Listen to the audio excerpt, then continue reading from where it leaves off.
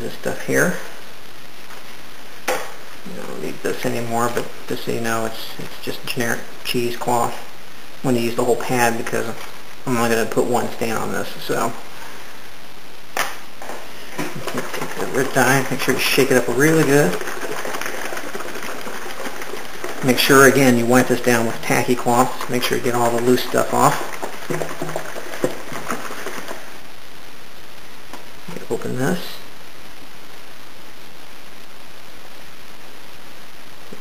Dabs. Not going to take much. That. I wish I had gloves, but I don't. But anyway, so you take that. Start wiping it in. Don't worry about it having too much because what it doesn't absorb it'll just wipe off. So let's go ahead and put some there too. Just make even, smooth strokes like that.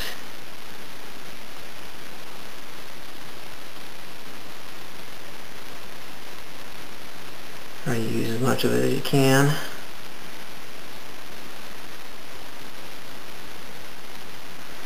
And I'm going to try to get it in the creases there so it doesn't look like a sloppy job when somebody looks at the gun. I'm going to stick my fingers in there. Do that. Just kind of go with the uh, grain of the wood. Might need to get a little bit more dye there.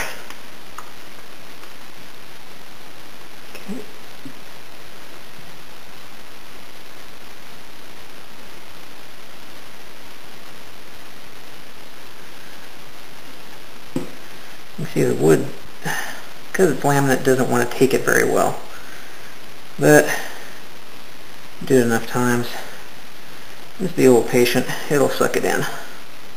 It'll absorb it in right there. Like I said, I'm only going to do one coat because I think if I do too much, it's going to be too dark. And it's not going to look as realistic. But just smooth it out like that so that, you know, it gets in there doesn't up.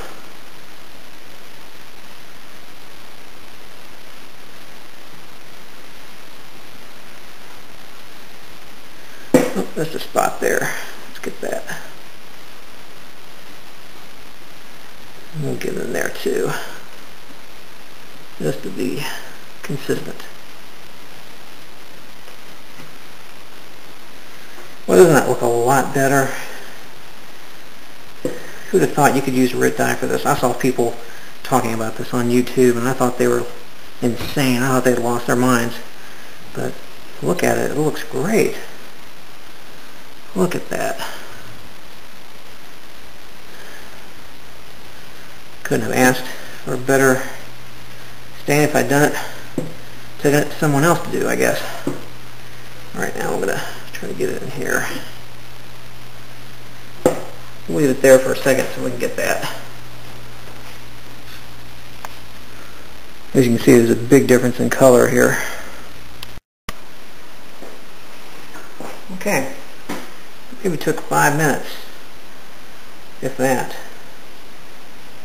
And not that much at all. I'm going to get a lot of dye on my hands, but like I said, whatever the wood doesn't absorb, you can just kind of wipe off there.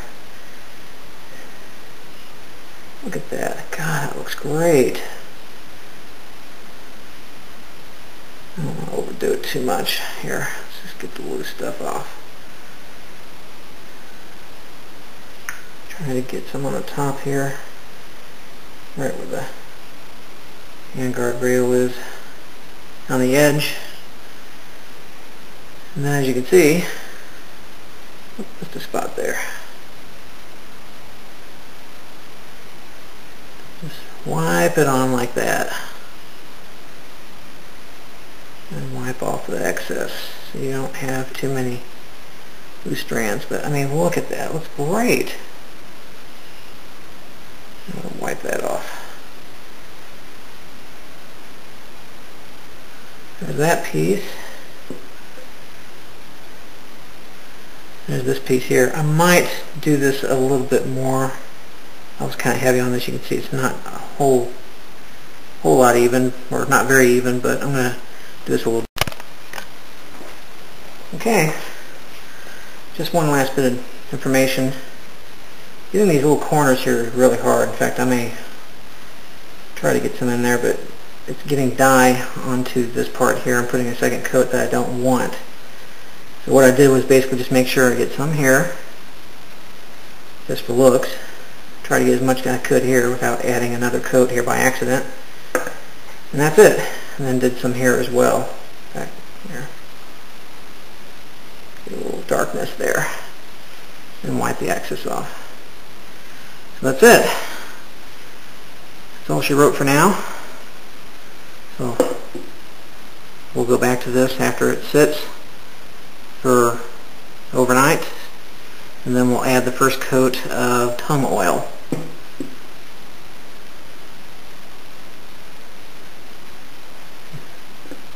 Ta-da! Note to self, get um, gloves next time. I have some gloves, I just can't find them, but that dye is going to get all over your hands. Something to keep in mind. Anyway.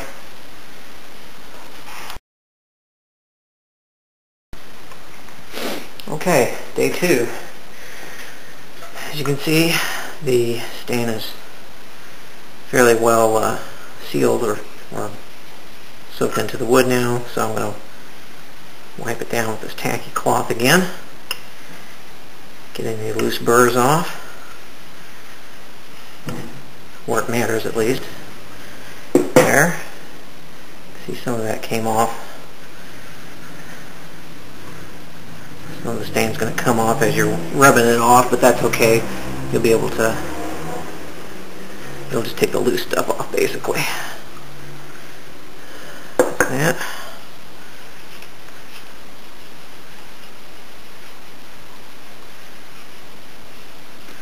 Rub it like that.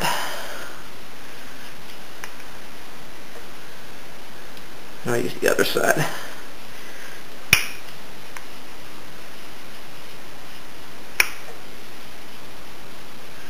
Okay. I got some dye off, but that's okay. It's still pretty red, as you can see here.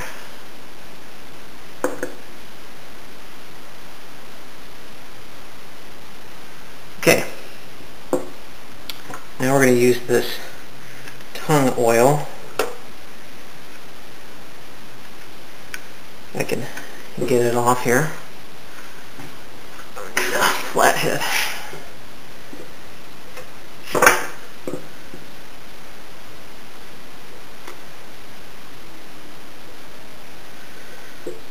This is Formby's Furniture Wood Workshop. Uh, the 10, the uh, it's like 16 or 14 ounces,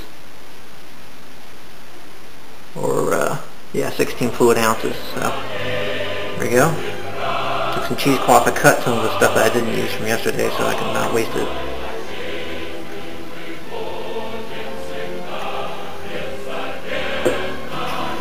we're going to do the same thing we did with this. Just grab it. Just wipe it in like this.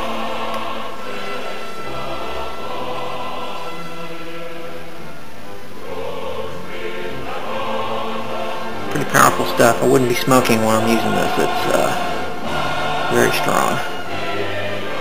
So we'll just take that.